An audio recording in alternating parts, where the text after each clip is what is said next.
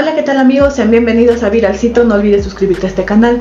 El gobierno de China afirmó este martes que sería un grave error que Argentina corte sus lazos tras la victoria de un liderato de derecha en las elecciones presidenciales en el país sudamericano, quien ha dicho que no tratará de los comunistas. El presidente electo de Argentina, Javier Milei, ha criticado tanto a China como a Brasil, que se encuentra entre los socios más importantes de su país.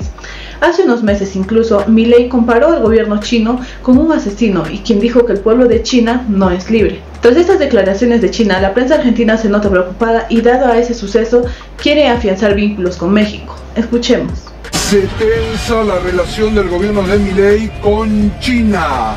Cancillería China. Taiwán es una parte inalienable del territorio de China y la cuestión de Taiwán es completamente un asunto interno de China. Distintos dirigentes de la Libertad Avanza empezaron a tender puentes con los diplomáticos Pero que están aquí en la Argentina de Taiwán. La canciller, por primera vez en un hecho inédito para la República Argentina, porque estaba bien el gráfico que ponían ahí, rompe todo este gobierno. ¿eh? Primero México, ahora China. Vos no te imaginas lo que está haciendo. México suministraba nafta a la Argentina, China tecnología, y viene el OT Taiwán.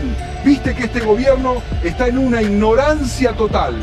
Es tremendo la irresponsabilidad, la ignorancia asumida por este gobierno.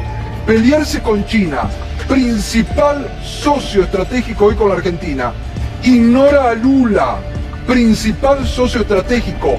Hasta esto lo está llevando el gobierno de Milei. La irresponsabilidad, la ignorancia y la ideología. Es grave esto. es grave. Hacía tiempo no acostumbra a China a hacer este tipo de aclaraciones.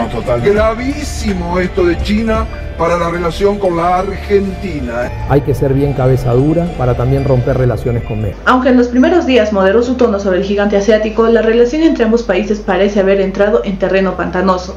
El gobierno chino no lo ha confirmado, pero la prensa argentina se ha hecho eco de una información sobre una posible suspensión del acuerdo SWAP de divisas con el Banco Central de China. Las dos partes tienen una fuerte complementariedad económica y un gran potencial de cooperación, y sería un gran error de política exterior que Argentina cortara lazos con países importantes como China o Brasil.